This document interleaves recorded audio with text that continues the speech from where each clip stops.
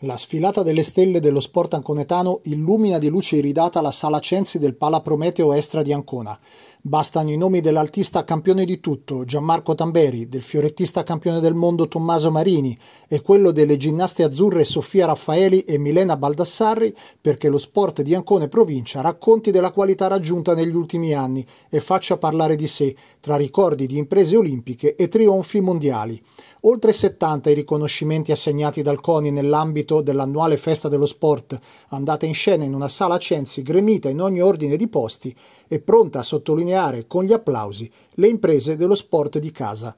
È un momento magico per le Marche e nello specifico per quello della provincia anconetana che anche nella passata stagione ha confermato le sue grandi qualità, con risultati che rispecchiano l'impegno e le doti dei suoi atleti, ma anche quello delle società del territorio, fatte di dirigenti e tecnici appassionati. Oltre alla celebrazione dello sport di Ancone Provincia, come di consuetudine, la festa dello sport del CONI ha visto assegnare anche i riconoscimenti del Panathlon Club di Ancona, ben 12 quelli destinati a premiare risultati e buone pratiche sportive e scolastiche degli studenti che si sono distinti nella stagione passata. Eh, sicuramente siamo al termine di un anno che sarà un anno da ricordare per quanto riguarda lo sport della nostra regione, per quanto riguarda i risultati ottenuti veramente un anno eccezionale per tutto lo sport italiano, ma sicuramente dentro i risultati dello sport italiano la nostra regione ha dato veramente tanto, in particolare su tre discipline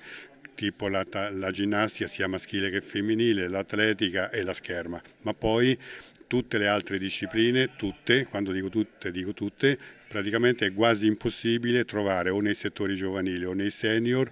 eh, una federazione che non abbia ottenuto risultati di livello minimo nazionale se non internazionale, pertanto veramente un anno da incorniciare. Poi dicevi per la provincia di Ancona, è logico che nella provincia di Ancona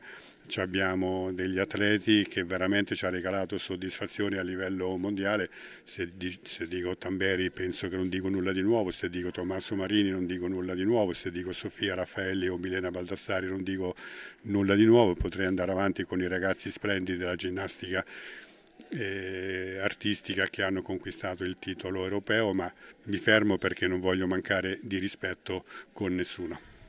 Sì, quest'anno abbiamo il record dei premiazioni, andiamo a premiare circa 70 tra atleti, dirigenti e tecnici di 28 discipline diverse, tra cui 5 titoli mondiali. Questo è un grande orgoglio per il Comitato Olimpico che rappresento e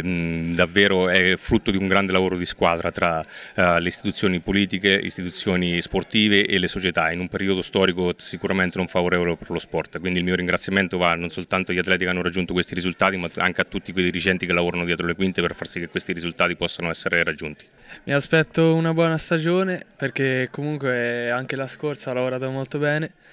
quindi adesso mi sto allenando e vediamo le prossime gare, gli italiani come vanno. Cioè mi sto allenando bene, quindi abbiamo delle buone prospettive diciamo, per, per, i prossimi appuntamenti. Allora, il 2023 è stato un anno di, di, di, di grande ripresa e di, eh, di, una carica di pressione non indifferente per, per, quello che il governo ha messo in gioco, ovvero una riforma che eh,